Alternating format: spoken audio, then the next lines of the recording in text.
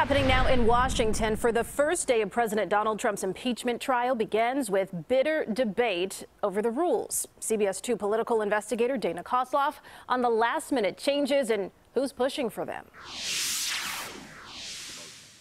Then, Mr. Cipollone, your House managers and the White House legal team sat at opposing tables on the Senate floor as they began debate on the organizing resolution that will set the rules for President Donald Trump's impeachment trial. A partisan impeachment is like stealing an election.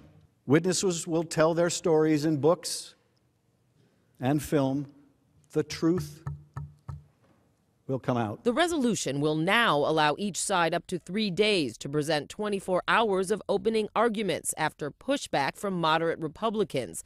That will be followed by 16 hours of questioning by senators. Only then can they debate and vote on whether to have witnesses.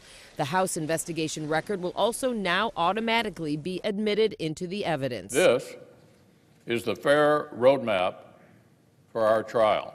The McConnell resolution will result in a rush trial with little evidence in the dark of night. Senate Minority Leader Chuck Schumer will offer amendments requiring witnesses and documents at the outset of the trial, despite the majority leader's threat to table them. President Trump weighed in on impeachment while meeting with world leaders in Davos, Switzerland. That whole thing is a total hoax so I'm sure it's going to work out fine. Opening arguments are expected to begin Wednesday afternoon. Senators will leave their electronics in this cabinet and sit silently during the marathon trial proceedings. House managers sent a letter to the White House requesting that lead defender Pat Cipollone recuse himself from the Senate trial because they say he is in fact a witness. The White House responded in a statement calling that letter, quote, a political stunt. Live in the control room, Dana Kozlov, CBS 2 News.